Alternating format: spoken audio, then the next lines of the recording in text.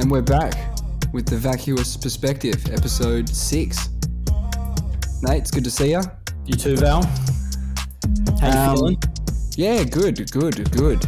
Um, the we're, we're, we're back to give you sort of the TLDR. Do you know what that stands for? The low. Wait, it's not the lowdown. TLDR. Yeah, yeah, yeah. In nerd speak, yeah. No, I don't know. I don't know. It's too long, didn't read. Right? so Oh, if someone okay. wants to give you the TLDR, they'll write this big fucking long paragraph and then they'll go, TLDR, um, if you don't want to have your organs harvested against your will, don't check to see if you're an organ donor. Right? and your story would be above that. Right. Now, we're here to give you the TLDR version of the TLDR because we we didn't even read the TLDR at this point, right? We, we read half of it, went, fuck, that's interesting. And now we're sharing it with you. So, oh, Well, I'm ready to hear the TLDR. yeah, If you, want, yeah. if you want to tell me what the TLDR is, Oh, no, no, no. I, I, I, it was too long. I didn't read it. Oh, I Oh, read only a part of it. And then here it is. which part of it did you read? Just the first bit, the first bit. The TLDR. Yeah, yeah, yeah. Or the first few Mm. bits where I got a gist of, I got, I got the gist. What was the headline? I, I have no idea. I'm just telling you, like, what we do in general is we give you the TLDR version of the TLDRs. Where we're not experts, we don't claim to be experts, but we're here and we're giving it up for free. To tell you why. yeah. Anything happening this week? Oh, I'm, I'm feeling a bit dangerous. Ooh, dangerous. Why is that? Saw the new Top Gun movie. Hooey. I was pretty happy with it. I I heard it. I hear it's great. I hear it's amazing. I was pretty happy with it. I'm not a big fan of action movies and all, all that drivel. No, no, no. Generally. And we're not here to spoil the movie either. But No. let's just because I'm I'm pretty expert at this. I'm gonna I'm gonna circumnavigate the spoilers because I haven't seen the movie and I'd like to see it as well with open and fresh eyes. But by Um, the time this episode releases, it wouldn't be a spoiler. Uh, still a spoiler for me. Yeah, yeah. And I'm not going to give any spoilers. I'll keep that in mind. No, no, no, no, no. This is what I'm gonna I'm gonna I'm gonna direct the question so you won't give away any spoilers, right? Okay. Um, Tom Cruise is back, acting good. I thought it was fine. I thought it was He's a good. good actor. He's Yeah. a good actor. He might be a scumbag and a weirdo, but he's a good actor. Is that is that about is that is that fair? Confirmed. Um, what about the okay? So we talked a lot about earlier. We talked talked about the stunts and how they were being done in the new Top Gun. A bit of uh, realism, uh, emphasis on realism and stuff like that. How did you feel watching the sort of I didn't notice any Fast-paced stunts that come to mind. well, not stunts, but just No all Mission the Impossible airplane footage was apparently Tom Cruise in the cockpit, and you know, like Really, all his veins popping out of his face. This is what I mean, man. Like he was in. This is what I mean. They, they don't do this, you know. They, they don't just give you a plane. That you know, Hollywood goes knock knock, give us a plane. They're like, no, that's millions of dollars of equipment. This is what I don't understand though. Mm. Apparently, the first movie. So, what I did is I watched the first movie with my girlfriend on the Saturday night How was that? because she hadn't seen it before. And it I hear, yeah, it's good. It's great. I actually thought, I actually thought it held up okay. Yeah, good Considering movie. it was, it came out in the year of our birth. It's Mm. older than I am. That is pretty crazy. But one thing I noticed from watching the first one is it has this real homoerotic vibe to it. Okay, between what Tom Cruise and and his, All and his the, all the fighter All pilots. of It's them, all weird. It's weird. They're always like kind of. I think they're trying to one up each other a little bit, and they got this like smarmy look about them. Mm, okay, It's weird. And then you have the beach volleyball scene where he's wearing jeans. Okay, yeah, yeah, yeah. Remember that? No, no, no. I, Cruise is it's wearing full been a long time since I would have seen Top Gun. I'm more a fan of Hot Shots and Hot Shots 2. I could probably I need, tell you I the need to story watch of that. I Top need to Gun. rewatch that. Could probably I could probably tell you the story of Top Gun and Rambo from just the Hot Shots movies. Yeah. I only saw them when I was really young. I need to watch those again for sure. Uh, yeah, look, um, Hot Shots One is Top Gun, like is a Top Gun ripoff, but Right. Hot Shots Two is a sort of every action movie ripoff, including sort of Rambo and that sort of stuff. But Hot Shots One is is very around Topper Harley being, I think, an Air Force pilot, like like uh, Tom Cruise's character. Okay, okay. Uh, look, I found the beach volleyball scene in the jeans quite uh, unusual, and then they revisit it in number two. There's a lot of throwbacks. I knew there was going to be a bit like a beach scene. Correct me if wrong. Was, was so there was no Top Gun two in the nineties or the eighties or anything like that. No. This is the direct sequel. Yes, yes, it On is. beach volleyballing again. Oh, don't Uh, without yeah, yeah, spoiling yeah, who- yeah. who wins or whatever. Spoilers. the- There, there were jeans on the beach, is what I'm saying. Jeans on the There beach. jeans on the beach. Again, again, controversial. Massive spoilers. Jeans on the beach, everybody. Don't buy your tickets. Forget about it. Stay home. Um, no, no, no, no. That's great. I'm excited. There's three things as well that are that I noted that they improved on number two, and I'm not giving away any spoilers. I think because I've watched them so closely together, I could make these kind of yeah these things stood out to me. In number one, Tom Cruise has a pretty massive monobrow, and if it's not a monobrow, it's ungroomed eyebrows. I don't groom my eyebrows, but someone probably should have been doing something to his brows in that movie. Unless it was like an actor's choice and he said, Look, I want the eyebrows. It's the eyebrows or I walk. I don't know. I don't know what the fuck goes on. I know that Tom his contract. Was that his? Was that Tom Cruise's first movie, or is am I just? Nah, man. Nah, man. Nah, nah, nah. I think he, he would have done risky business before that, right? Um, I, I, I don't. I, sound- sounds familiar. I don't recall it. it's the one where he dances with the broomstick naked, uh, not naked, but in his underwear in the hall. Like he's. Okay. Is that the right? Am I am I am I going crazy? Is that the I don't know. right? movie? I, I can't see Tom Cruise doing that. I see. I see something. I see a different movie, but Tom Cruise carries a lot of weight though on these projects, and he was, I think, from what I read, the TLDR TLDR, yeah. um, he was kind of adamant that they are in the cockpit, that they get in these real jets and fly around and In, shit. in number two, yeah, In number two, and Yeah. perhaps number one. Who knows? Okay. I don't think so, but I, it could be. Well, I have a comment about the Jets as well. Um, Yeah. that- Oh, before we go on to from there, sorry, I just need to quickly go. If you go back to the beach volleyball, right? Yeah. If you if you found that strange uh, viewing, if you found that strange uh, in that sort of like you felt like it was homoerotic or something, right? Then No, not, it's not just that scene. All the change room sure, scene. sure, sure. It's But kind of like this weird if it's- vibe. If it's in the film as much as you, you're saying it is, I cannot see a world where Hot Shots didn't like rip on Yeah, it. yeah, for So- sure, hundred percent, hundred percent. So you need to watch Hot Shots now. Yeah, I do. I do. You've I- done I'm, I'm gonna write that done down. I'm gonna write that down. Hot Yeah, Shots one.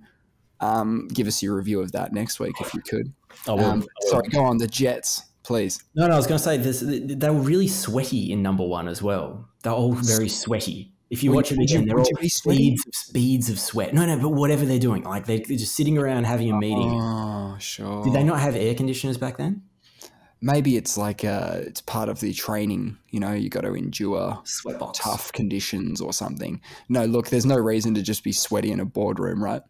Um, And they kept the sweat down to a minimal until near the end. You started seeing some sweat beating on, on a couple of the on a couple of the characters, and um, the other thing was the, the the sex scene was pretty awkward in number one. There was a lot of like weird tongue dipping. Ooh, yeah, okay. This was like just dropping his tongue I into think the that's just how they did sex scenes in the '90s, right? I don't know. Maybe I'm going crazy again. extre- extremely French. And then so his his Tom Cruise's love interest in one. Right, a lot of the characters made it through from one to two, but they don't really explain his love interest. They don't really mention her, right? Because she's this sort of sixty year old pensioner, um, or if not older. Tom Cruise looks identical. It's weird. Yeah. Okay. So, is, is Tom Cruise 60 years old? Well, it was thirty something years ago that Jesus the Christ. Jesus Christ. Yeah, that'd be great. Hook Tom Cruise up with this 60 year old lady. That would be great.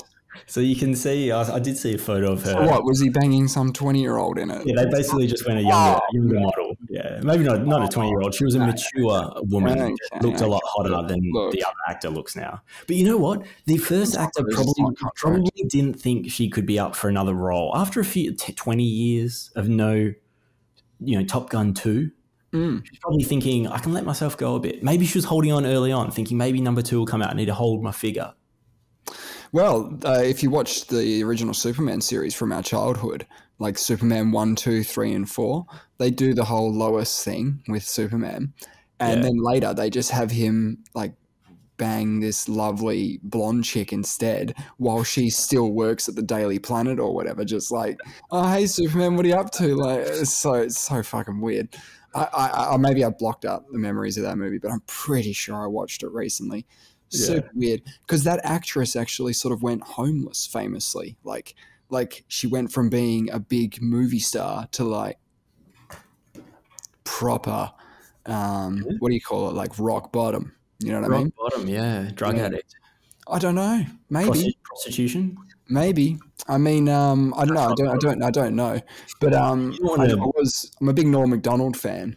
Yeah, He talked about on a podcast that he went broke three times in his life because he's now sadly passed away. But um, while he was alive, he went broke three times um, because of gambling. He was gambling on sports. Mhm. dangerous. Yeah, Oh, the man. silent killer. wild. But uh, that's got nothing to do with Top Gun. That's just There is there is a comment I want to make, but I feel like it could be a bit of a spoiler, so I'll, I'll hold off on it. Um, Yeah, okay. we'll, talk about that another time. yeah, fair enough. Um, have did you? Uh, There were a lot of G's pulled. yeah, a lot of A lot of G's. G's, yeah, a lot of G action. Man, okay. It must be great. People, I haven't heard a bad word about it. Have not heard a bad word about it. Yeah, I, I liked it. I really liked it. Um, oh, also, you know how we were chatting a few weeks ago how I said in the trailer there was um, at least a glimpse of the SR seventy two Dark Star. Okay, Yes. so so the movie's out now, right? Oh, and uh, clearly, if, if we haven't, you know, if you haven't sort of figured that out, then um, we're not doing a good job of the TLDR. But it makes more than just a cameo. But so I looked into it more, and obviously there's more information about it now. And this isn't a spoiler because it's just at the beginning of the movie. It's just like a, a bit of a Sure. scene. Um, he's riding around in it, right? And then and so now they've and he pulls some G's in it basically.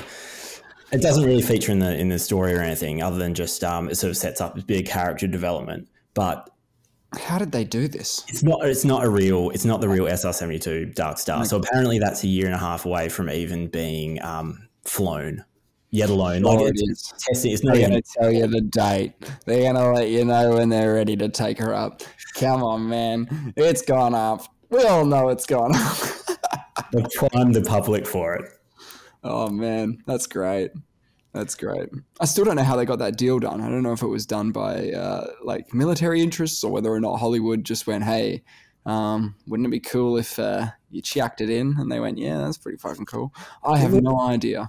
Well, this sort of feeds into what you're saying about the the planes and whether Tom Cruise is in the plane and things like that. So these things, I don't know what they cost, right? But a fighter jet must be like 50 mil plus. That's what I was thinking. Yeah, say and 40 these, these are big. these- This is a big budget movie. So I mean, I'm sure they could buy some fighter planes if they if they wanted, right? But yeah, maybe right, but that's a huge expense. Who's going to fly him? Tom? Tom, Tom, train him up. They'll put him in the program.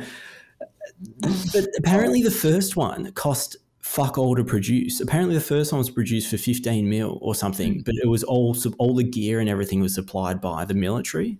Mm, So they actually backed it, and it was a bit of a recruitment type tool to make oh, it's, make fighter it's pilots really, it's a really interesting um, way of getting, you know, not just not just new recruits, but hey, representing the army as the fucking good guys who are just doing the fucking best job ever. You know what Yeah, I mean? it's a bit it's a bit propagandary like that. So I don't know. I don't. is propaganda.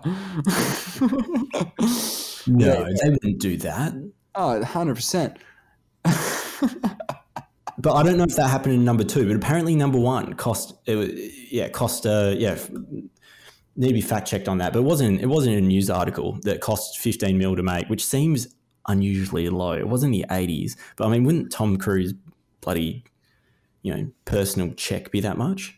Well, not back then, not in the 80s, right? Maybe not. Maybe I not. have no I don't know if they were involved in this one, but there's like aircraft. Yeah, there's like an aircraft carrier, of course. That's not a spoiler. There's no aircraft carrier. Um, they're not going to build an aircraft carrier. I suppose they could just build a platform. No, that it's like all made carrier. Could be CGI. Nah, it's just made all in conjunction with the army. Anytime you're featuring the army or featuring, like, if you said, hey, I want to do a true story about, like, the day we captured Osama bin Laden, which they did, the CIA just get involved. You know what I mean? Or, like, the army get involved because they're like, look, uh, you probably need us to be there so that we can tell you, like, what the fuck you But know. they would have a huge say in the movie then, right? They're like, if you're using our planes, you can't make us look incompetent. 100%. You have to make us look. Yeah, so they'll have a lot of. They'll have a They would have approved the script. They would have said, "This script is fucking great. Here's your planes." You know, they would have loved it. what I love about it is they don't make any comments about who the enemy is, and you never see any skin color, any Ambiguous. Yeah, like so it's just like this, this sort of like elusive Enemy threat. Yeah, yeah, but they never Anybody- go into yeah, yeah.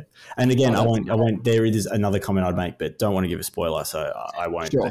Um, I did find that really funny how they sort of tiptoe around who the enemy is and and just give you nothing. It's just to make it applicable to the next generation and the generation after that. America's always got an enemy at the moment. Yeah, They don't- anyone. You just you just sort of um, pick one. yeah, it's, it's it's just a it's a, just a blank sort of uh, blank spot where you just insert enemy here. I mean, surely people have done studies and like looked into the uh, say enemy's aircraft and been like, look, they're clearly depicting these guys or these guys because of the equipment that they're using. Like who, that's who's being depicted, but never stated. Oh, You know what I mean? yeah, yeah, yeah, yeah, and yeah, hundred percent. That was- that was kind of weird. I actually had a big movie weekend. Now that I think about it, I think I mentioned before I rarely watch movies, Mm. um, but I watched yeah, Top Gun one, Top Gun two, Yep. because it was WA Day yesterday. So yeah, we had a day off. Yep, brilliant, Happy WA Day. brilliant. Did you see the drone thing for WA Day? The the, the little uh, swarm they had down in Burswood Oh. Park. I heard that there was a drone show on somewhere. That's How worth checking out just on yeah, YouTube. Yeah, yeah, okay. Hey, cool. on the PS, uh, you said that Top Gun got made for fifteen million dollars. yeah, Well, here's a movie. I checked it. No, here's a movie that also cost around that amount of money, made in 1977. Okay, Star Wars, eleven million. Eleven mil. Is that it? 11 million to to make the first one. Yeah. Fuck, that's nothing. Nowadays, you when you see a movie budget, you need to times that number by two. Okay, and the reason you do that is because that's how much marketing money they spend. What? And is that not included? Not included in the film budget. No. Okay. Well, I So- can confirm. Yeah, Top Gun go on. one, 15 mil US. Yep. Yep. Top Gun. Top Gun two. Okay, hold on. Give me a give me a give me a uh, budget on that. That's got to be into 170. the how much? So 170. More than, yeah, more than ten times. So they're still getting help. 100. percent They're still getting help. Yep. Yeah. I'm, I'm still gonna watch it. I'm still gonna watch it. You should. Uh, you mentioned it's WA Day. Mm. It's actually the day after now. So it's June day after, 7th. Day after. Mm. Um, I had a look into the history books to find out if anything happened on June 6th. Oh, June seventh. Sorry. June. 7th. Guess what? Well, wait, Bloody so did. today. Yeah. Oh, tell me. Some yeah. Oh, some stuff happened today. Yeah, ages this, ago though. This old news. This is old news, man. This is old news.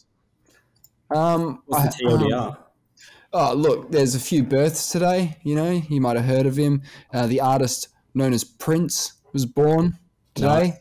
Nice. nice. Mike Pence, Dave Navarro, Bear Grylls, and Bill Oh, Hader. who- who's Dave Navarro? He was the guitarist in the Chili Peppers when John Frusciante left Oh, okay, after okay. Blood Sugar Sex Magik. He only performed on One Hot Minute.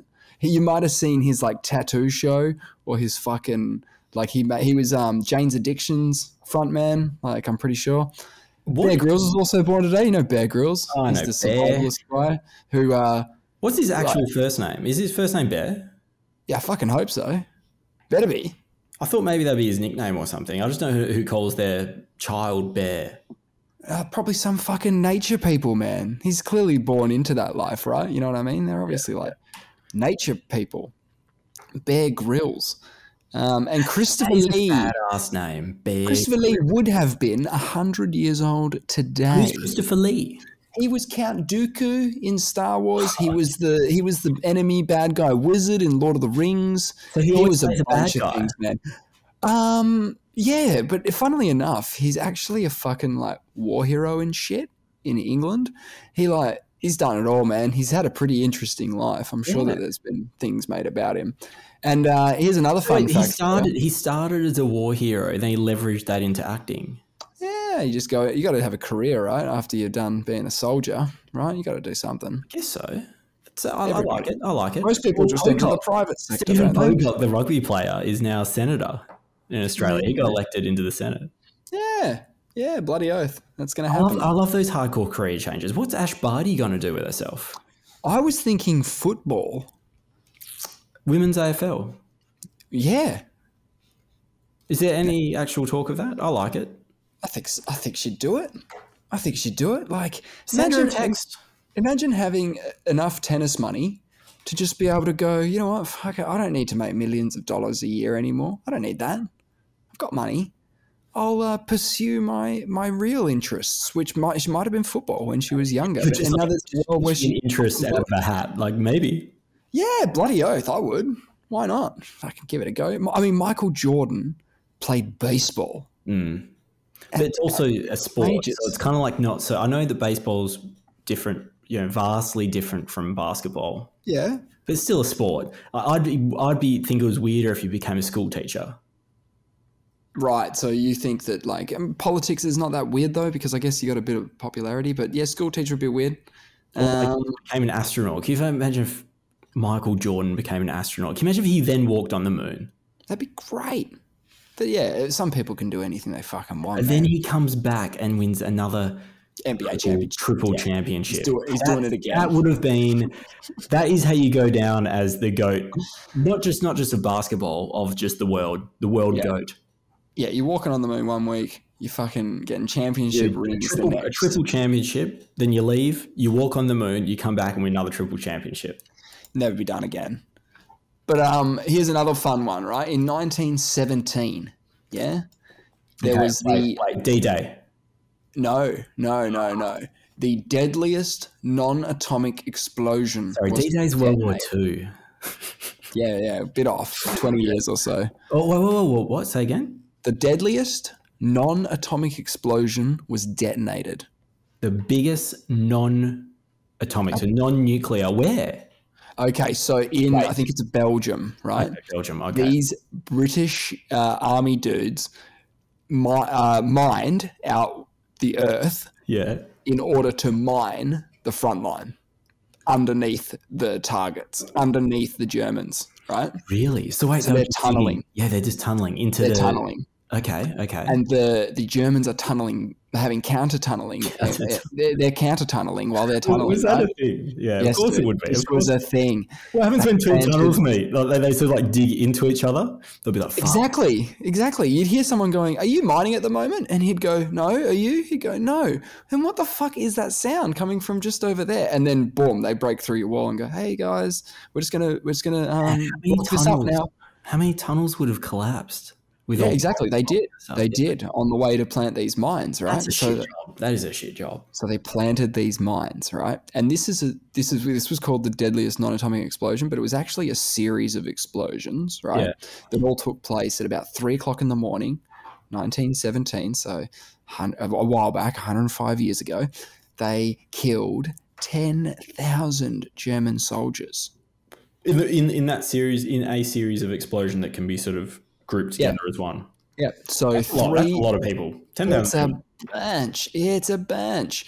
In the German history books, actually, I read this Could that you um, imagine that thing going up? There would have been so much um because it's underground. oh, it was chaos, man. These craters that were created by it Yeah. were fucking massive because they're on an underground.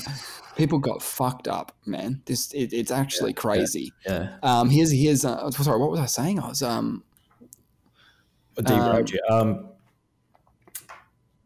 they planted all these mines. They did this. They did this thing. One of the generals quoted saying saying something like, "Gentlemen, I don't know whether we are going to make history tomorrow, but at any rate, we shall change geography." How fucking nuts is that shit? Um, man. How so, big? So what are we talking? Um, did they say? So what is it like dynamite? What? How do you make a big explosion? What do you use back so then? they're using like mines. They're using like a like I don't know what they are like conventional mines. Yeah.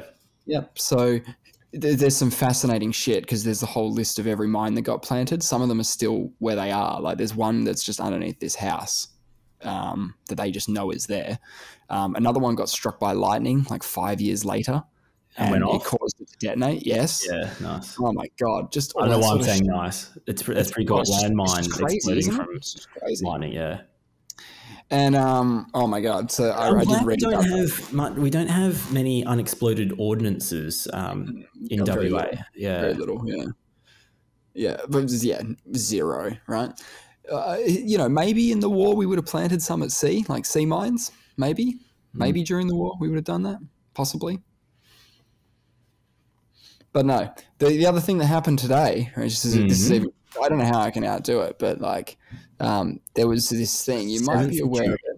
Okay. It's the earthquake of Port Royal. It happened in 1692. Okay. okay, never heard of it. I'm listening. Okay, so basically, big earthquake happens at Port Royal, which is Port Royal is like where the pirates hang out, like traditionally, you know, where like buccaneers chilled, and um, Is people described the- it as like the worst place in the world, you know, like just just full of debau- Is full of debauchery. Where X marks the spot on the pirate maps. Yeah, is it? exactly. What, what country Yeah, are we talking? in Jamaica. Jamaica. Yeah, Okay. Jamaica. So they Island, had Port island Royal. vibes. Yeah. um, basically they had this big earthquake and all of the sort of buildings were on pretty much sand right Okay. this earthquake hit so hard there were people saying ah that's cool we're, we're cool here like, it's just a tremor and it's true that like uh, the island of jamaica does have uh, a bit of a tremor problem but Okay. not crazy earthquakes right Bit of a fault line. a bit of a fault line. The ground fucks like the, the ground starts fucking moving under these guys' feet. The earthquake uh, hits hard. Three forts that were on the island out of I think six stunk within a few minutes. Three what? Forts, like they construct Forts? forts, forts to to pro, to protect it on the outside. sunk. Yeah, yeah, yeah. Because it's all, on, it's all built on sand and shit. Like it's just bad, bad building, right? Right. So the three forts sunk in a minute. So all the, all the fucking buildings just went right. Um, The earthquake sort of splits the ocean a mile offshore, you know, and then comes back, you know, as a six foot uh, wave, right? Yeah. Because now that you've had your all like three in the first three minutes, two thousand people are dead. By the way, right. two thousand people How dead. long, in the how long it went on for? The earthquake went for three minutes. Okay. Two thousand people dead within the first three minutes. Seven That is a long fucking time it's to be brutal, in an earthquake. hell on earth. dude. How slow It's would that three minutes Hell on earth. Yeah. Like yeah, we're talking about the craziest thing ever. Seven hundred people who died of the two thousand I mentioned were African slaves. So Mm, just bad shit, right?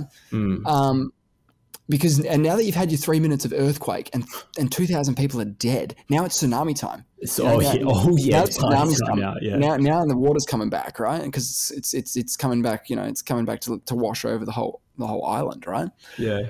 takes away some buildings, fucking just levels people, kills them, right? It's it's, it's nuts, man. So 2,000 people die in the first three minutes. 2,000 people die following in the in the following sort of days, months, or whatever from sickness due to like malnutrition, all the fucking decomposing bodies everywhere.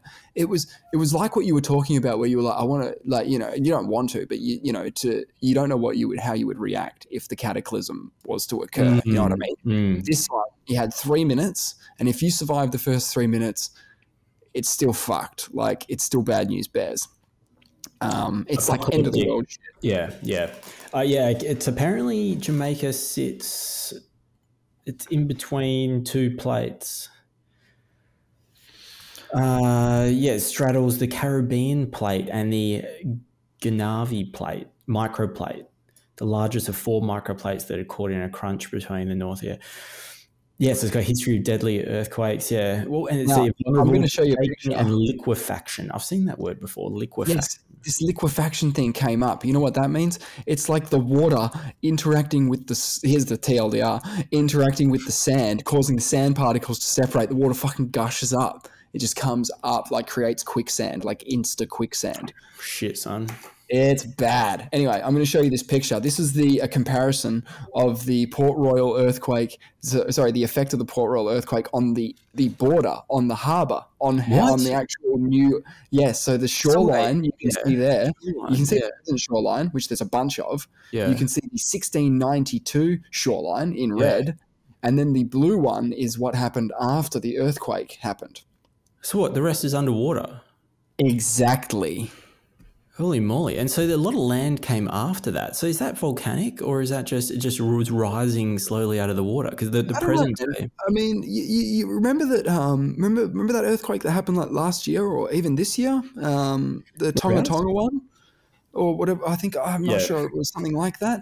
I, I might have just butchered that. yeah, But look, um, it was huge, right? And it actually like su- it actually swallowed like most of the island, which was only a new island to begin with.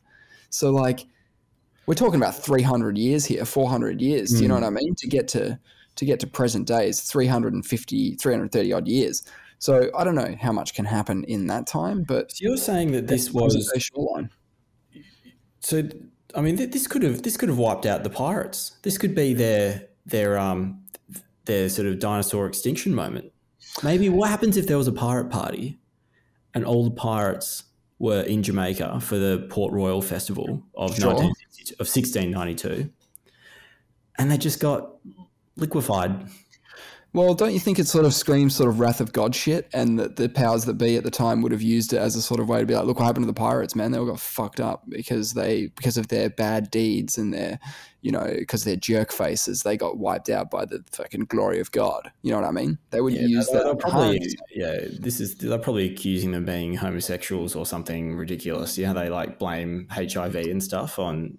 Yeah, when there was big Say that hurricanes and it's- yeah, stuff, there, there'd be those like crazy right wing people who say, "Oh, um, this is God saying He's angry with you and how you live and stuff." Load of rubbish.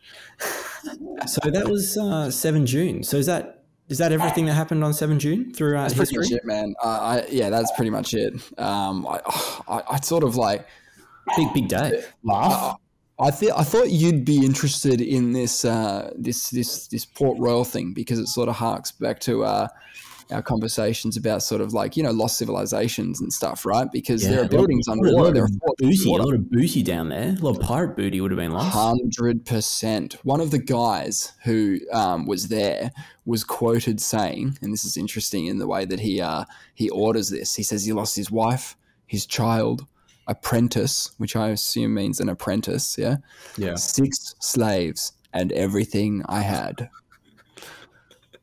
Not the slaves. No. Oh well.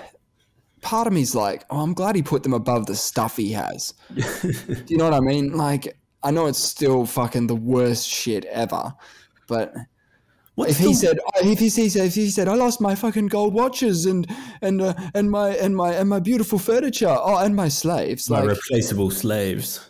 yeah so look Hmm. fucked up shit just shows you What's what's so it doesn't have the magnitude of the earthquake. So I assume that the Richter scale had been is that good seven It sounds large, but I mean, it could be bigger. But it depends how close it is to the epicenter. Like Mm, if this, true. if this is a magnitude seven, bang on the island, yeah, it's going. It sounds like it was by where the tectonic plates sit. That would have been literally the crust of the Earth, sli- two two plates sliding violently over each other by the sound of things. Like three minutes of movement would be a heck of a lot. And clearly, by the actual shoreline yeah changes, I think you know, I think there would have on. legitimately been pirates there and just people who legitimately thought this is the end times and God is coming to secure like his victory upon us now. You would have to be like freaking out, man. They're talking about like the you know the Earth's melting below you. You know, The the Earth is melting. Yeah, buildings the fact it's even moving at all. and then the I had, I had to-. So this is what is weird. I've got this big pile of mulch um, that I got delivered out outside my house. That was you sign up to this free mulch delivery service, and then three years later, just if they're in the area, they'll drop it off. You know, and then three years later, they give us a call and they're like, "Hey, you signed up for the mulch. Do you do you want it?" I'm like, "Yeah, you know, drop it off." It was humongous. It was the the amount of mulch they delivered was commercial quantities of mulch. Luckily, it's a really big block here, and we had some use for it. But I've been chipping away at this thing for about six months, and I still have a pile of mulch that's the biggest pile I've, I've ever had of mulch. C- correct me if I'm wrong. I hope I'm not talking out of school here. This happened to you before. The same guys delivered heaps of mulch. no, this is the same pile of mulch.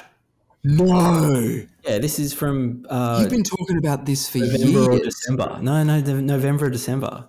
Okay, I'm getting confused. November, December, so it's been there for I haven't had. I don't recall any other mulch delivery. Oh, Oh, man, not at this house. Not at this house. I was sure, but maybe uh, maybe I'm just getting my my years mixed up. My point is, I've been trying to shift this light. You know, it's it's soilish. You know, because trees and stuff all all kind of like you know ground up. Um, I've probably done about two hundred crates of it. I have this plastic crate, and I just I just sort of fill it up Mm-hmm. with my hands and a little shovel because it's just the easiest way. I pull it into it, and then I pick up the crate and I walk it over to where it needs to be. And I've been doing this forever. It takes ages to move soil. So we're talking three minutes of like, you know, huge. I don't know how thick a plate is, but sliding over each other. The amount of force and energy Mm. required is just kind of unreal. Yeah, you would have been gutted if you were there. You would have been working on your mulching, and then the thing Oh, happens, my and you're like, oh my no, this is all going to get wrecked, and my big pile of mulch is going to go away. And I realized that it took my slaves as well, and I would just be furious. Yeah, I'm yeah. just- But the mulch, more importantly. Uh, just to um, and just to uh, you know, that was the deadliest non no, atomic explosion before. Yeah. Um, of course, they did actually detonate nuclear explosives couple of on bombs, some- targets.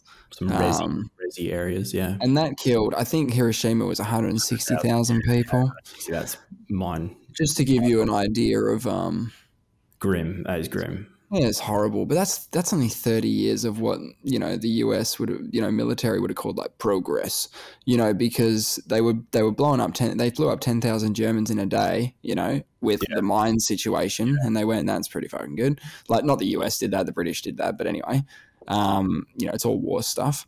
Um, and then we're nuking people like 30 years later. Fuck me dead. Jesus Christ. It's awful.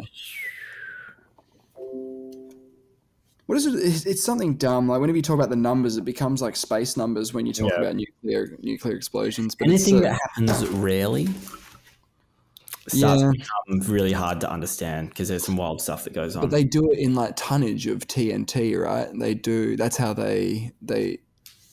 That's how they. That's a kiloton, right? It's. yeah, yeah.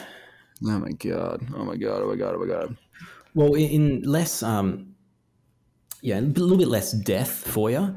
Um, did you hear about the world's largest plant that was recently discovered Oh, okay, recently discovered. No, I didn't. I didn't hear about it. in uh, Perth's backyard as well? No, Or should I say WA's backyard? no, Yeah, no. four thousand five hundred year old seagrass measuring 180 kilometers in Shark Bay. Okay. Okay. And and and whoa, whoa, whoa, but like, wouldn't most of the seagrass around the world be pretty old? If not, you know, that old, there would be older ones. There'd be old ones going around, right? apparently something it's called like a polyploid or something it's been it, it's, a, it's some weird mutant that's got double the amount of chromosomes so it's something that kind of went a little bit unusual and because and so it doesn't have sex it just it just duplicates it just it just spawns off more of itself You said this was a plant, right?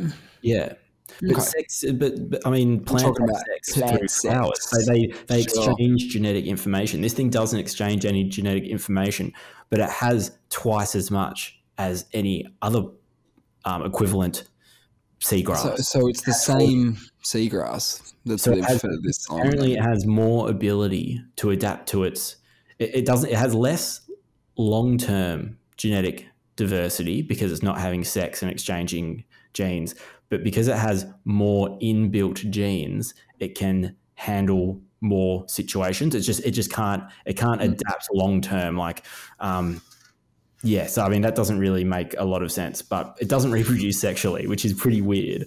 And um, they, they were apparently the scientists were uh, investigating they were studying how genetically diverse the sea meadows were and they started like testing it and they're like why is it all the same?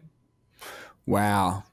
So you're saying like genetically, like two like flowers, yeah cross pollination or whatever. yeah I don't, I don't know. I don't really get flowers either, to be honest. But um, they the cross pollination happens, and the genetic information is not sunflower. The genetic in- information is the mixture of the two sunflowers, or whatever you want to call them. yeah So they would there is they different. get a chromosome of there is difference. yeah from the mother, a chromosome from the mother, and chromosome from the father. It's very interesting.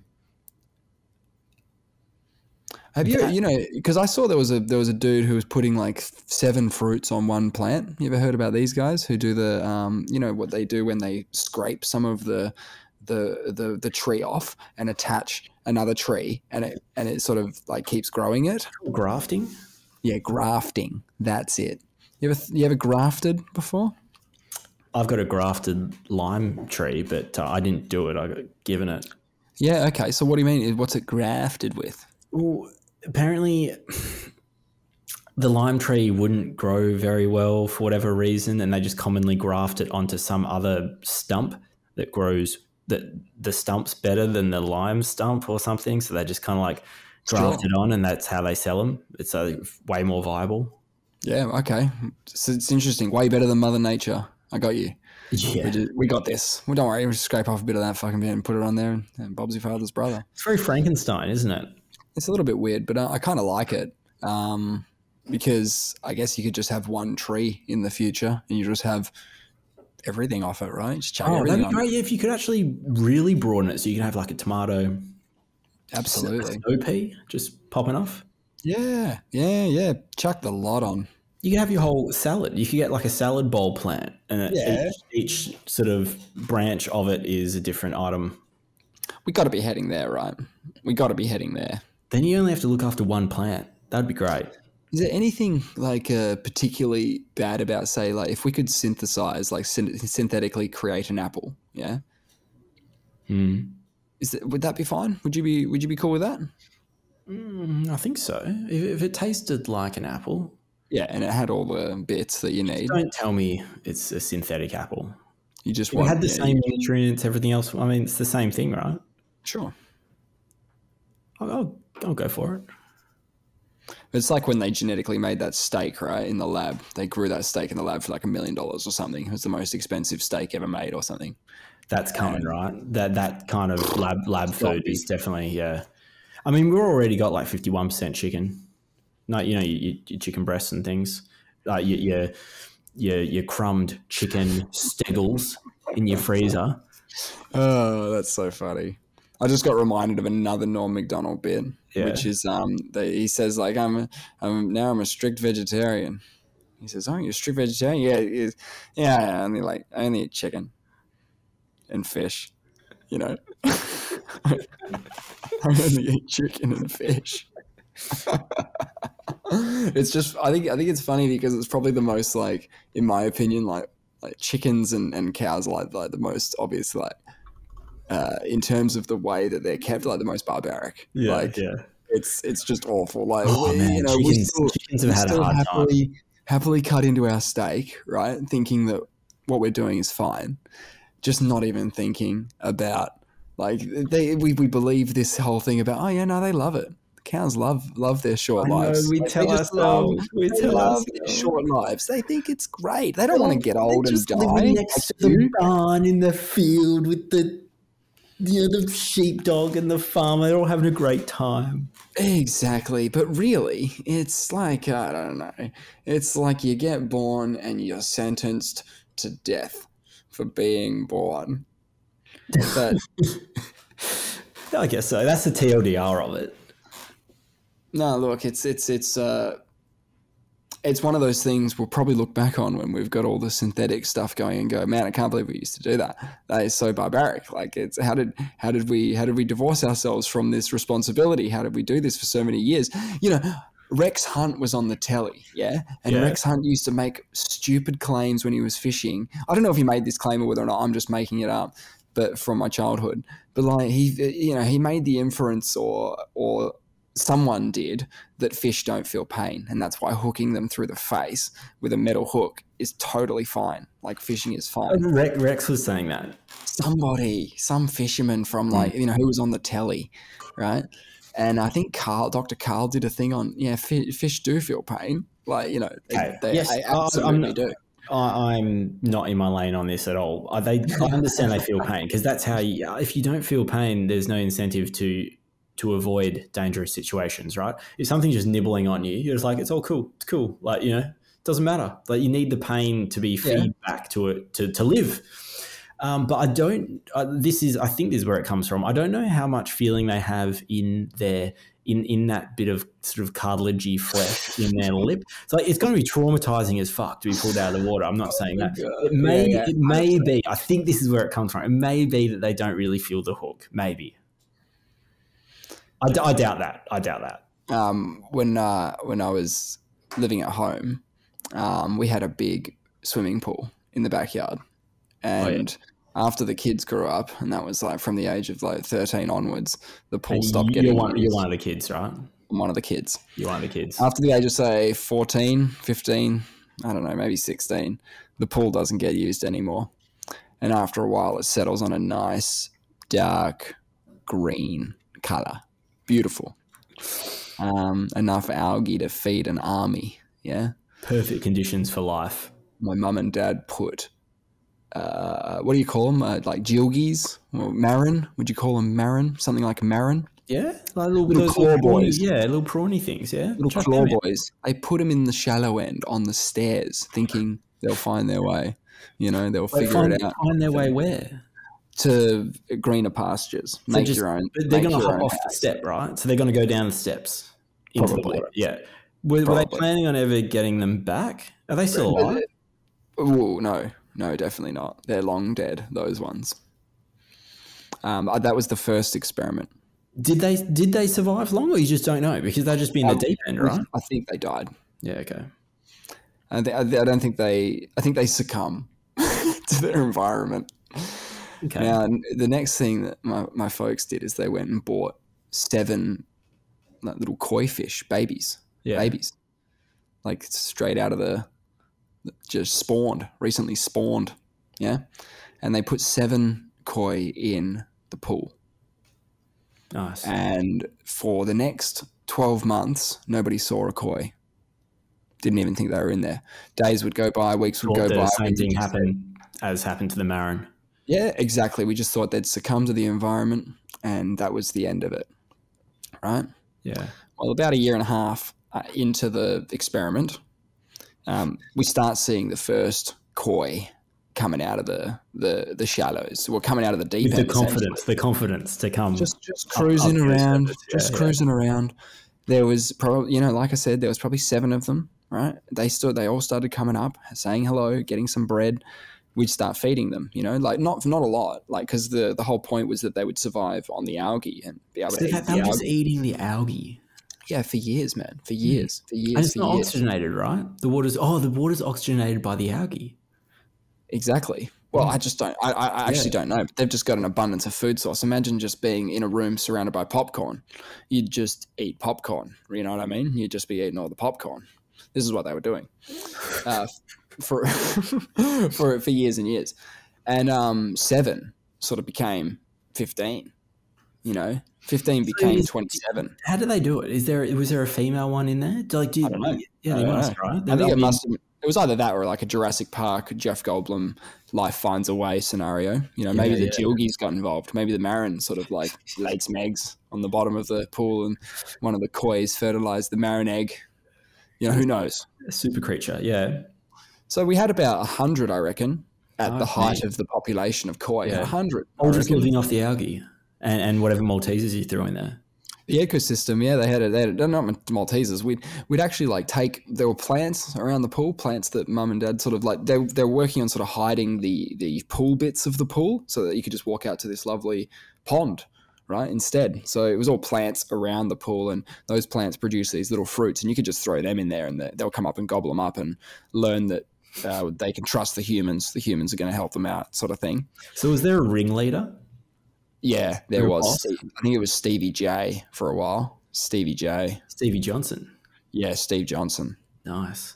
Um, Your dad, was your dad liked Stevie J. no, he just had his um his koi color, like his pattern was like a, a jersey. Geelong, Geelong like a, no, I think it was when he was playing for the other the other club at the time. Oh, I can't remember who Steve He played for um Gold Coast or or Greater Western. He played for one of those two.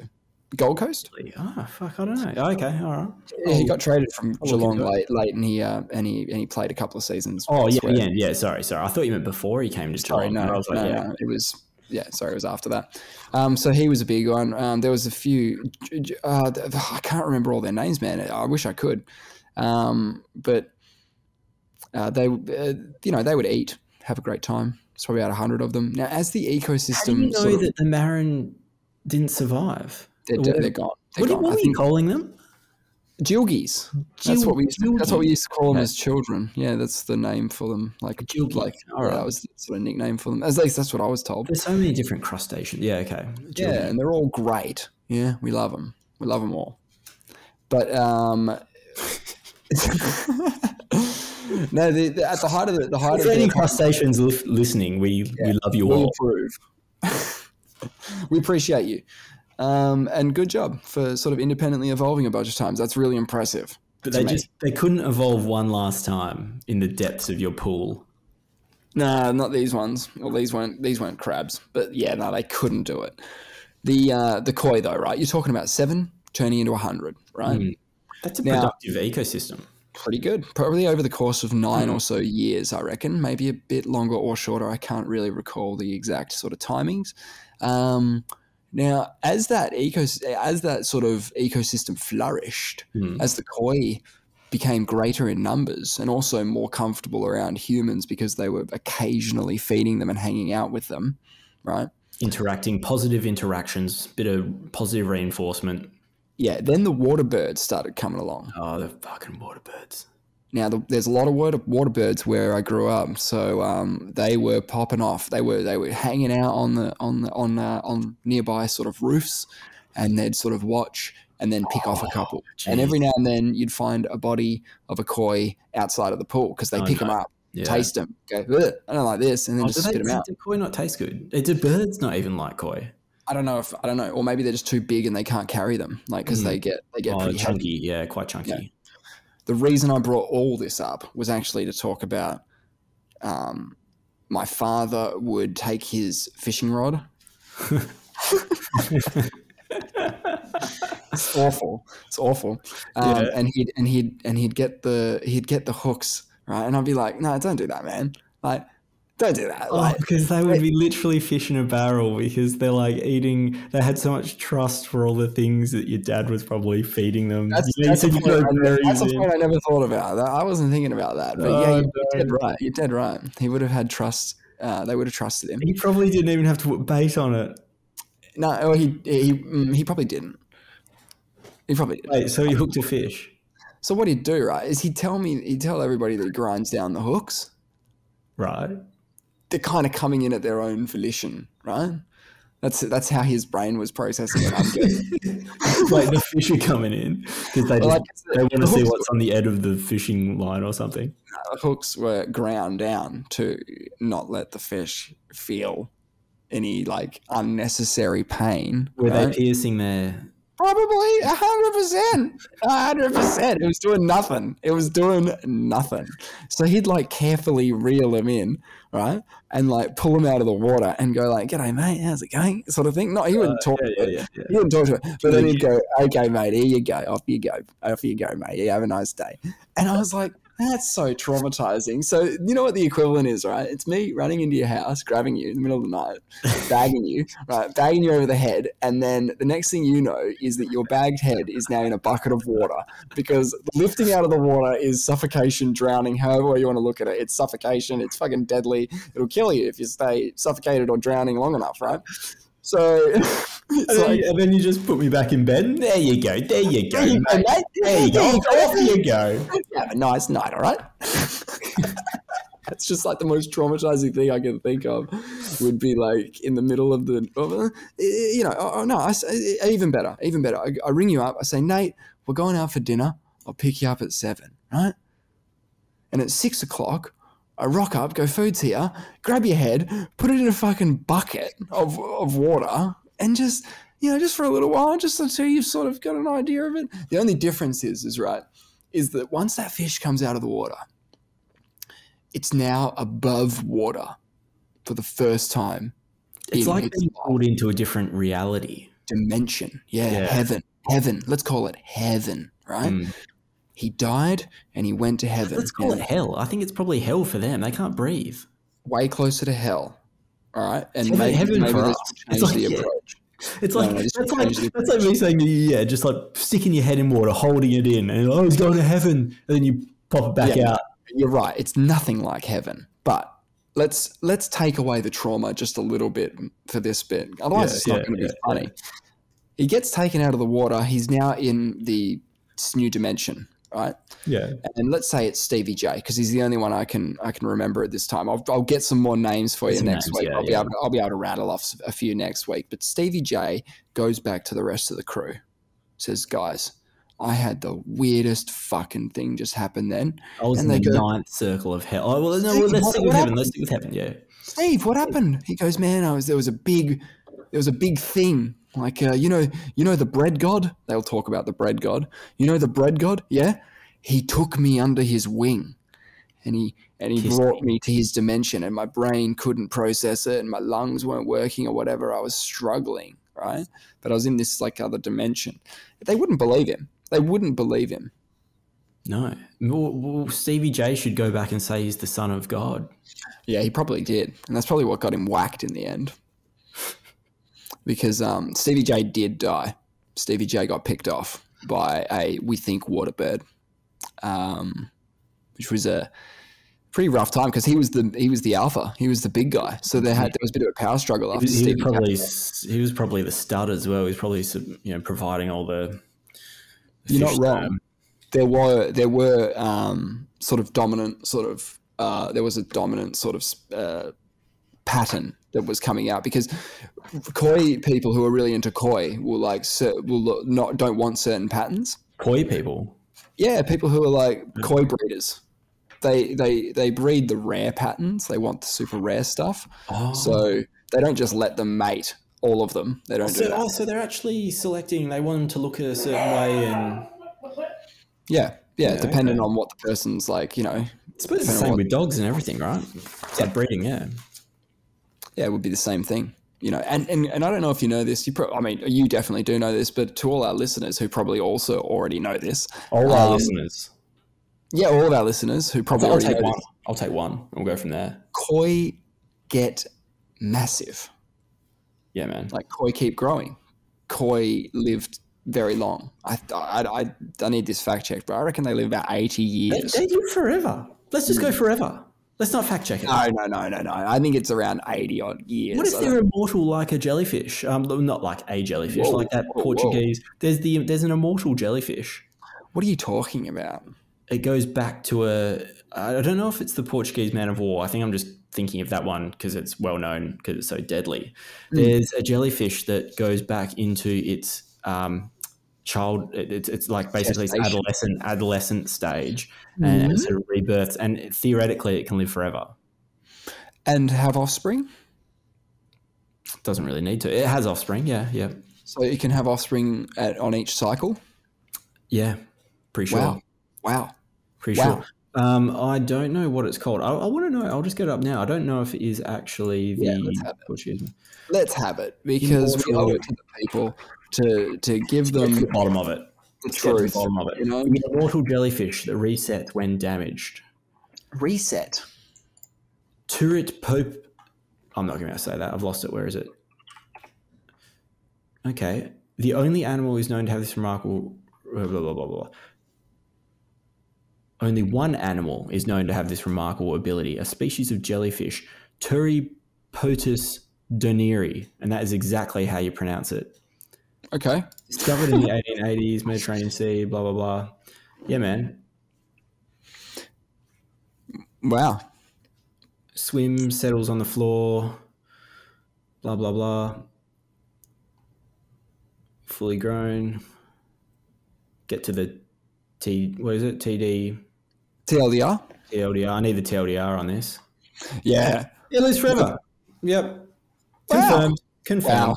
Wow. And if you're wondering, koi can live anywhere from like 100 to 200 years. Like, you know, that's what the general vibe is. There's 100 years of, of leeway that the scientists put in for koi's potential age. So Stevie J died young. Oh, yeah. Oh, yeah. They all did. Poor thing. He had Yeah, they whole life of him. I feel really sad for him now. Well, Here's a question for you. 200 years of swimming around in the pool. Fuck No, that. no, no. Seven koi were put into the pool first. The original. They had no knowledge of the outside world. This was their world for their whole lives. Mm. Short as they may what have been, the alpha was nine years old. You know, the the next in line was eight years old. The next in line was five years old. Do you know what I mean? In terms of like who's going to inherit the the sort of leadership, yeah, the leadership after after you know one is one dies. I mean, it wasn't ever going to be two hundred year old Stevie J.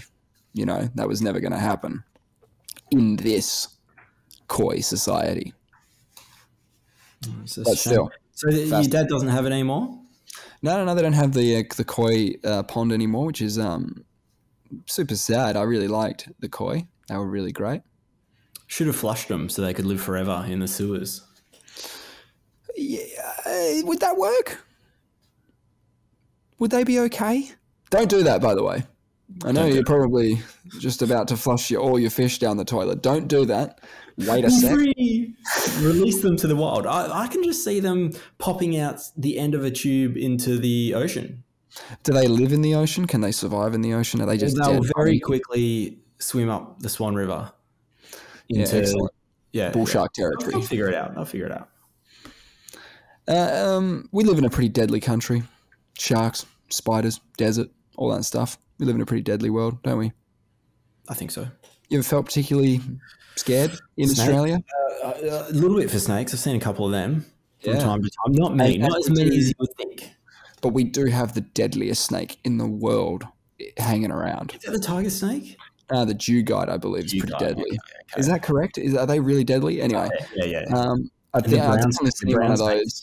The brown snake's a bad one. Yep. Very Yep. Oh naughty. yeah. Very naughty boy. I've seen one, but I've never, I've never felt like I was going to die to any of the Australian wildlife yet. Share oh, no, yeah, I haven't. No, yeah, agreed, agreed. You haven't encountered anything. You Yeah. haven't encountered anything. I've seen some snakes, but they haven't really been posturing. Yeah, well, why would they? You're massive. You're a massive person. Like, why would why would it fuck with you? Uh, the only ones I've seen are, are sleeping, pretty much. Yeah. Wow, I nearly stepped on one at the beach. That was scary Oh, was because uh, when when I was Yeah. probably about thirteen years old, Yeah. I was walking uh, back from the beach and I was just stepping on the sand and I stepped on this. I stepped in front of me and this dugite was like near my my foot and it just scurried off. Like it just went away. Bit of an Indiana Jones sort of moment. Oh man, uh, I think I was pretty shook in the moment because I was like, "Fuck!" Like that, because you know, much like other parts of the world, like the sometimes the smaller the poisonous thing is, the, the more deadly it is. Um, Oh, so in yeah, the case of the dugite, it's not a particularly big snake. It's not like a fucking car. It's not like a big python or a cobra. It's like a little snake, man. But it'll fucking kill you. Like they just Oh, they carry that. The ones that freak me out are the uh, the thick ones. The one, the ones that strangle you. Yeah, That's yeah. The ones that can just yeah. The one Well- that's just jujitsu your ass. snakes in general, man, like fine, bite me, I'll die, right? Poison bite, right? Yeah. Don't eat me. Don't dislocate your face, yeah? Don't do that. Don't do that weird dislocating your face thing and fucking swallow me whole thing. I don't want that. No That's not that. cool, Yeah, man. yeah, Let me have the poison and I'll die, and then you can do it later. You know? Um, have you seen that shot? Uh, I'll send it to you of the the snake in the Karijini National Park. Been there. You've been there as well, haven't you? Yeah, yeah. Just Yeah, no, I'll have just, just pulling up a water buffalo. You told the- me an interesting story many years ago, though, Yeah, um, from your from when you were in Africa. Is this with the bird. Yeah, can you tell me that again? There was the the we were on like a essentially like a tour bus. It was like a twenty five day thing from Cape Town to um, Nairobi in Kenya, and we stopped in some national park in who the fuck knows where. It was like um, Luffingham. Uh, uh, I, I, I can't actually. It's all sort of merges into one um, in terms of where it was. Dude, I tell the story all the time. I feel like I can tell the story better than you at Yeah. this point. Oh yeah, man, hit me. I'll, I'll, I'll correct you where you yeah where you go. Okay. wrong. Yeah. You, I don't mean to say I can tell it better than you. I'm just I'd saying, like. I'd love you to. I tell the story a lot, man. I probably tell it more than you tell it at That's this point. Yeah. Um, so you were at a sort of lunch stop. You Yeah. sort of were between spots at the moment. You're going to the next one. You're having you're having a sandwich, Yeah. and you sort of take a bite of the sandwich, look away, and then look back, and the sandwich is gone. Confirmed. Confirmed. Uh, yeah, Keep going. Yeah, yeah. That's pretty much. Yeah, yeah. You And, said uh, to the guide, you said, well, the guide said, "Do you have any idea what sort of just happened to you?" And you said, "No, I've got no idea." And he told you that an eagle swooped from the heavens, essentially, fucking, I don't know, 60, 80 meters in the sky, yeah. targeted your sandwich, and with lightning speed and like un, unmatched precision, Yeah. takes your uh, sandwich out of your hands without taking your hand with it, because he probably could have. Um, Oh yeah, man. So it goes like this. That, that's pretty close. good. It was, Okay, it was a piece of frittata in plastic. Uh, I had a sandwich, but I think I was in the frittata stage of lunch. It was a pre pre packaged lunch they give you, and it was it had a little bit of I had like glad wrap on where my fingers were touching the frittata because I didn't want to touch it myself. Mm. And they, they warn you. They said um, when you're getting off the bus, like be careful. The eagles will like take your lunch, you know, kind of thing. Just be Wow. careful. I didn't think much of that. I remember when he said it, I was like, I got this, like a bird. You know, what do you mean? I didn't think he was going to take it right out of my out of my hand. I thought like if Yeah. you leave something unattended or, or something. Sure. Yeah. Like And I'd taken one. I'd taken one bite of this thing. Yeah. Uh, it's not huge either, so it's not like a big target. And the next thing I know, I feel this whoosh. It's, it's coming right over my shoulder and clean taken the frittata, and I'm left holding the plastic, and it's absolutely just taken the whole thing. And and he says that they, you know, have great eyesight, great precision. They had they have huge talons. That thing would take your finger if it. Mm. Yeah, but it, wants, it doesn't want to. It doesn't want the fight for the. You know, it doesn't want to hit something that's. I don't know if it's thinking this deeply into it, but it, it knew what it wanted. It knows what the frittata is, and it just nabbed it. And I was, I, I, I had this rush of um, adre- like adrenaline, like shock, because it all happened. I was like, "Am I all right?" I was like, "Man, this is." It went. It was a big. It's a big bird going right past my shoulder. It was like pretty much. I think I was almost going in for the second bite. You know, that's how I'm not holding this thing out length. Yeah, I've got a bent arm. I'm just holding it near my face, and it, it was pretty incredible. Look, I'm gonna I'm gonna give the animal a bit of cred here as well, but I'm gonna say like um, they know what the deal is. They know about the frittata. Smarter know about-. They know about you. They know about the tour guide. They They know, know about, about me. That's getting really personal. Like no, but they know about you as in like they know tourist. that there, there's going to be people who are coming with frittata, I'm a sucker. and for whatever reason, it loves the frittata, and it and um, and it, and, and it knows what it wants, and it takes it. Um, it could have picked a, a, better target than you to take it from if it didn't want to fight. You know what I mean? Like, there's surely like There's a lot of like, uh, you could have women. punched it in the face. probably some smaller people. Didn't care. That it just didn't view you as a threat at all, mate. It went, no, that's my I hope frittata. that the frittata went it. to its um, its offspring. I hope it took it back to the nest and said, "There you go, share out some frittata. Everyone gets a bite." Yeah. That would make me feel good, bit, bit warm But- inside. When they said, "Be careful, the eagles will take your lunch," are they talking about like the eagle? You know, the eagle in town, the one who takes lunches. He is notorious. He's there every day. Probably one. It probably attacks the other birds if they start Mm. hanging around the the lunch spot. Yeah, it Mm. probably it probably gets really protective of it because it knows it's Mm. fertile hunting ground for frittata. Oh, totally, totally. This thing would have had like a six foot wingspan. I got a picture of it um, when it was just flapping you got a around. picture of it I got a picture of it after after the Oh, in the sky. in the sky. But So you, got know roughly how high it was then. Uh, well, I could show you the picture. I, I don't know. Um, I'm going to guess from memory. I haven't looked at the picture in, you know, like, Like it's cruising or- altitude. I think it was on the way back up. It was probably, it was pretty, because I wanted a picture of it to remember it by. After that, I was like, man, that was like, that was Hmm. wild. I want to take a picture of this bird. Yeah. I was impressed. I was I was very impressed actually. Um, I would have given it to it. That's the thing. If it just sort of asked, Yeah, no, it's not in the business of asking. I would have gladly have handed it over, but um, Do you know? Do you know what's kind of sad about that? Is that you were an easier mark for that particular day's lunch than actually going and doing what you evolved to do, which is like kill everything else. You know what I mean? Like pick up a rat or whatever you you do. You know, like whatever you usually prey on, just gets the day off because frittata man is yeah, coming. I, I, was the I was the, the soft target, right? I was the low hanging fruit. Uh, this this No, chump. mate, you're the you're the savior. You're the savior for those other species. You've um you've done a really good thing out there. The place Done where really we were having lunch was next to an elephant graveyard. One of those, Hmm. one of those, um, Straight from Lion King. kind of, or, or a little bit like from The Simpsons, where it's a, it's maybe I don't know if it's a tar pit or if it's a swamp or something like that. I don't hmm, know if it's got quicksand properties or what, but the elephants just all know to go there to die. Yeah, it's smart, right? It's got to be Well, evolutionarily it based. is, but it's really it's kind of like a graveyard. I, well, I mean that's why it's called an elephant graveyard. But So I mean, elephants sort of go. Gonna, when I'm gonna like die, I don't walk to the graveyard and just kind of lay No. down. No, we don't have that that uh, the intuition to sort of plan it ahead. Say, I'm just gonna save everyone the trouble. I'm actually dying tomorrow, so uh, I guess I'll uh, I guess I'll catch you later.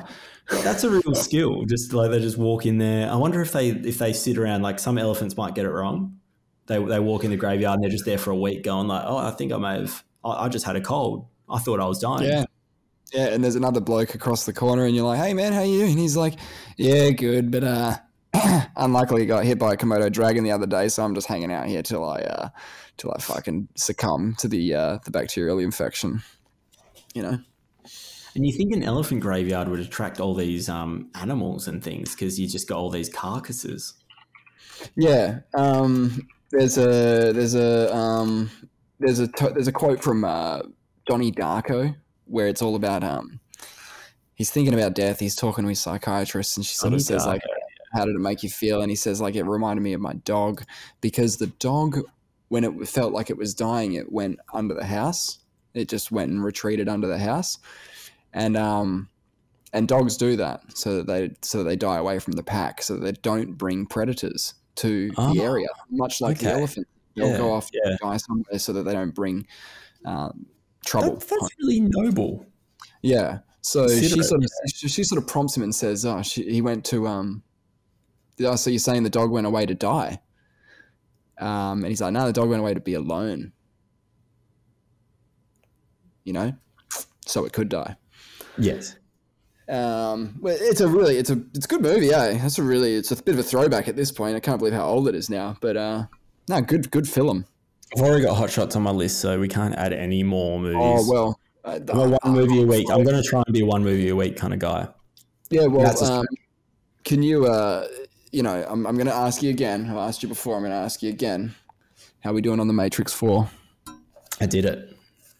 Whoa! No, you I did didn't. it. Yeah, I did it. Yeah. Oh no, you didn't. You did well to, to keep to keep it together when we were talking about the Matrix as well, and not give anything away when we were talking Okay, about. Agent Smith, right? Because that was absolutely nothing away because I because I I actually treat them as like uh, sort of like the Star Wars mediums. Like there's the original trilogy for the Matrix one, two, and Yep. three, and then there's this thing, whatever the fuck that was. Um, I actually didn't hate it, but I came in with those really low expectations because of everyone said how garbage it was. I thought it was kind of cool. I thought it was weird how it talked it's about itself, Itself. in in yeah, in sort of third person. yeah, it's self-referential. It's Yeah, um, it yeah, I thought that was funny. I was- I was not expecting original movie in it. It had.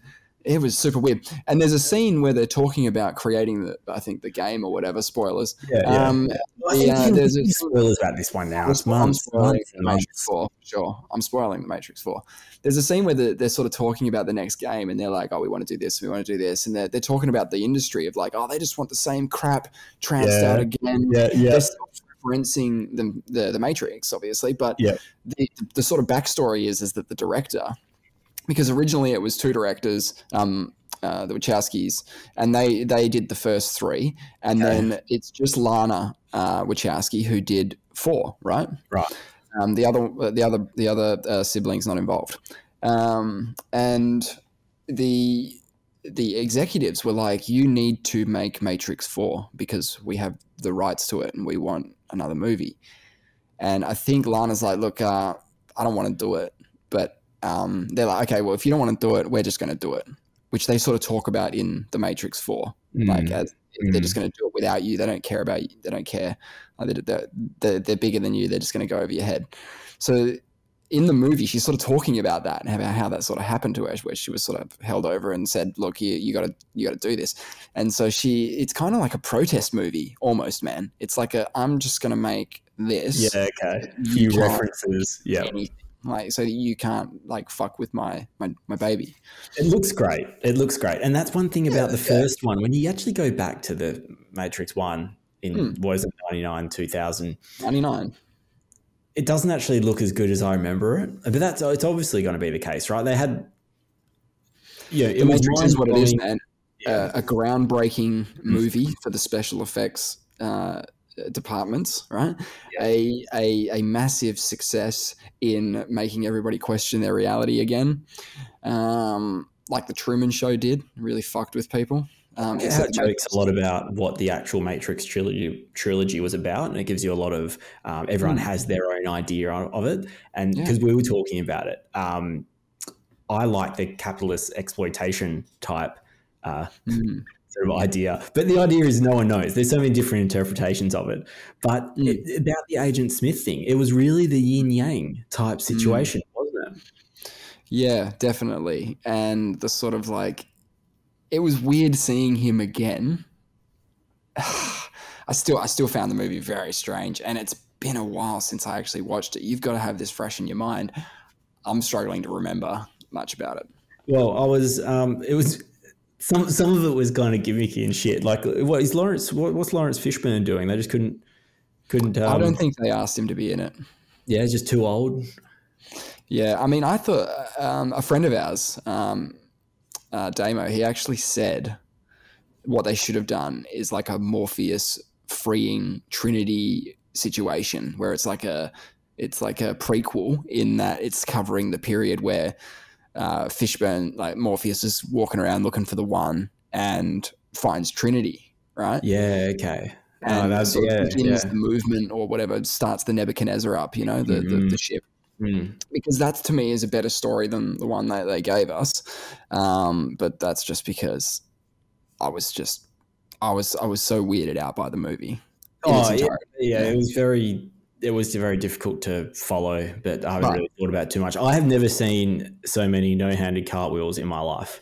but now, was- that, now that the uh, now that the movies are complete, now that now that the, now that you've seen all four, right? Yeah. Yeah. Are we are we ready to talk about the one again? Are we ready to talk about the one again? Well, I, this one makes a bit of an argument. Like Trinity seems pretty important in the whole thing, but Neo, yeah. Look, I'll, I'll stick with Neo on that one. But I, I do you just think Neo's still the one? well, um, uh, at the end, right of the movie, Yeah. she's the one zipping around. It's doing yeah, the, no, she, doing- yeah, she's doing the, the flying and the yeah. yeah, yeah. Well, yeah, um, true. I thought Trinity was for some reason, but it makes no sense for her to be the one in the in the sense that.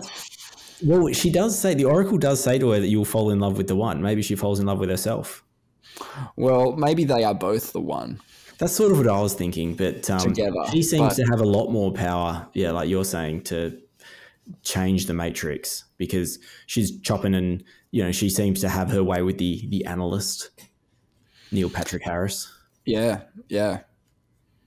I knew he, I knew he was evil. I knew Of course, the psychologist right from the get go. I saw him. I was like, okay, he's therapist. Something's Well, he's going literally on. Blue pilling Neo at the start of the movie. Yeah, yeah, yeah, yeah. True. I didn't even think about that. no, Like, but um, I I also blue pills, I forgot that. well, I didn't think where he got them from. Yeah. I don't think it's fair to say all the stuff I've said about the movie without saying something that I did really like about the movie, which is um, Morpheus's imprint, digital imprint, escaping the the Matrix. Is, is Like- this? Yeah. So is this the? Morphe- the the Yeah, the AI version yeah. of Morpheus or whatever got out, and then they use those projective machines to uh, pr- project their um, digital selves Mm. into the real world, so that they can because they're, they're it's um it's actually part of the extended canon because we're talking about Matrix Four now. That's part of canon. That's Matrix canon, um, which means it happened. Um, And and uh, and there was also a video game called The Matrix Online, which was meant to be an MMORPG. Yeah, so it was basically like you pick whether or not you want to be at the start. You'd pick between human, agent, or machine, Okay. or or machine something else. Whether there was the machines that hate humans, there was the machines that like humans, there was the machines that didn't give a shit, and then there were the humans. You kind of pick between these factions, and this was sort of like the aftermath of the war, and sort of like what happened to these various groups. Like because the Matrix Four has the whole. Oh no, no! Some machines really like us and want us to do okay. Like they're good machines. Like they're the good ones. They're they're, they're goodies you know they did that and that was cool because it sort of honors that that that storyline that they wrote all those years ago because the Wachowskis wrote the Matrix Online and all the other games. Right. Okay. So keeping all that, like not just not destroying any of the past, keep all that. It's all good stuff, um, and it's and it's believable. Um, that was a good thing. I did like that about the movie, about the the robots, Making peace. some of the, some of the machines making making friends. Yeah, that was fun. Yeah, I like that. Like it, like everything. There's uh, good things and bad things in uh, you know people. There's you know good. I always use the example lawyers, good lawyers, bad lawyers. There's uh, I'm know, surprised that you said the stuff about Matrix One looking um, dated. I guess. yeah, I think, I think, yeah, yeah. I thought that the special effects in Matrix Four were real bad, man.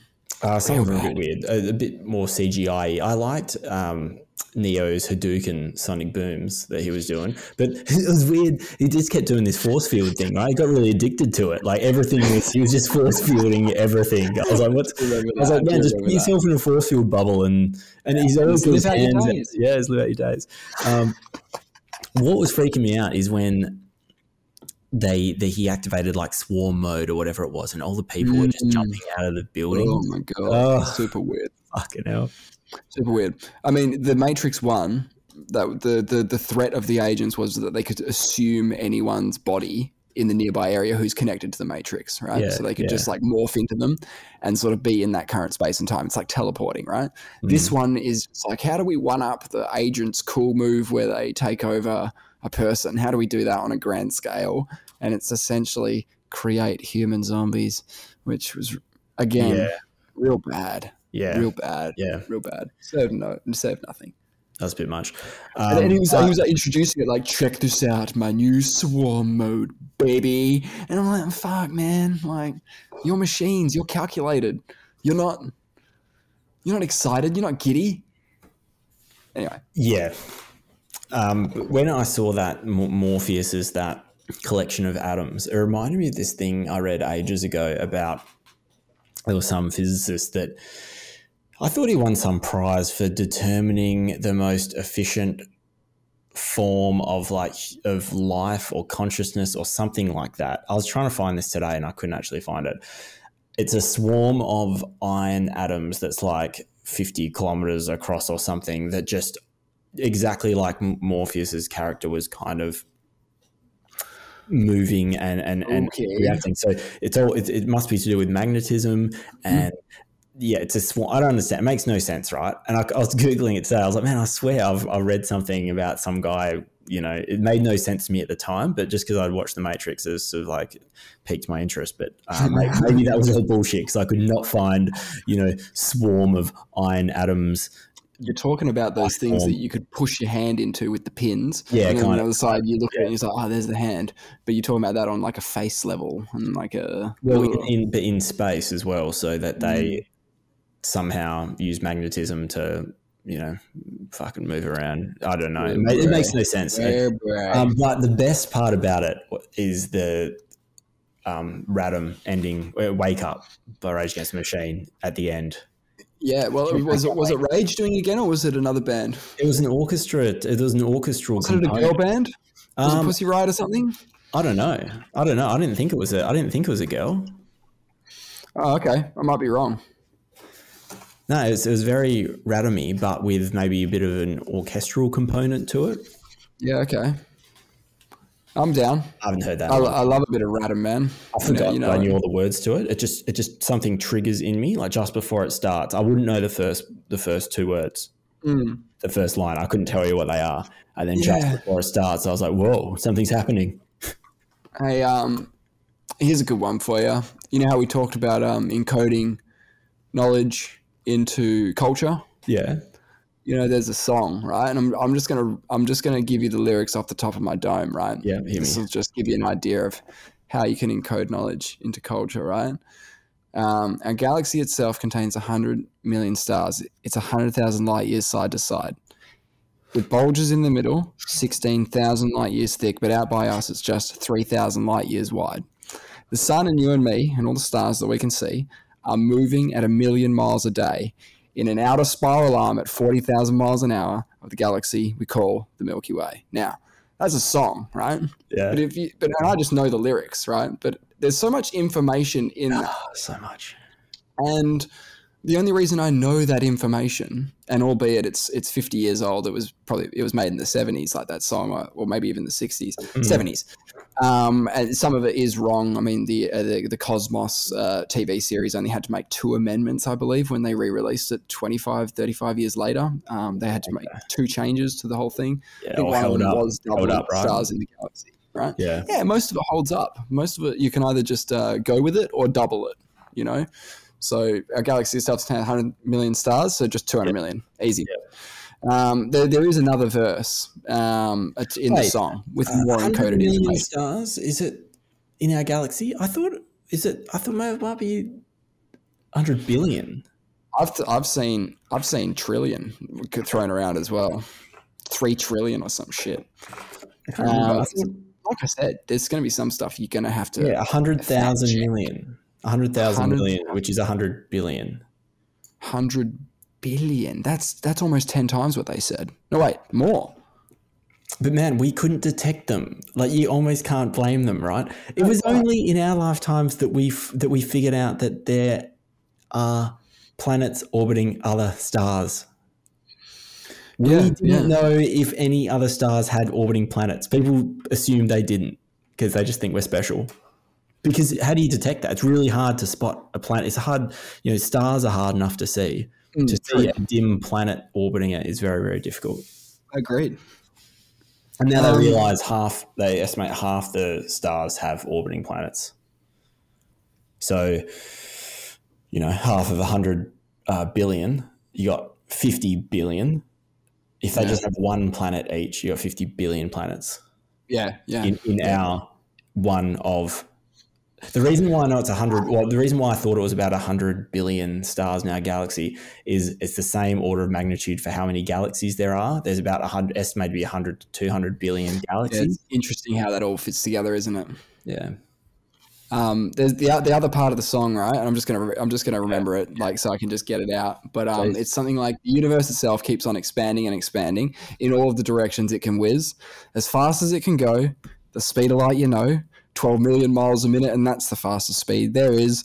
Um, so remember when you're feeling very small and insecure, how amazing and unlikely is your birth, and pray that there's intelligent life somewhere out in space because there's bugger all down here on Earth. It's such a good fucking song, man. It's done so well, and the movie's so good. The meaning of life.